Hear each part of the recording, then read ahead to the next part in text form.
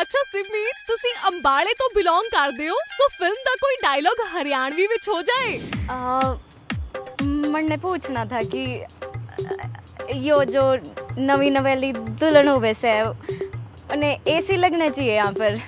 ਕੀ ਬਾਤ ਹੈ ਯਾਰ ਸੱਚੀ ਆਉਂਦੀ ਹੈ ਤੈਨੂੰ ਇੰਨੀ ਜ਼ਿਆਦਾ ਹਰਿਆਣਵੀ ना मैं तो नहीं ट्राई कर रही हूँ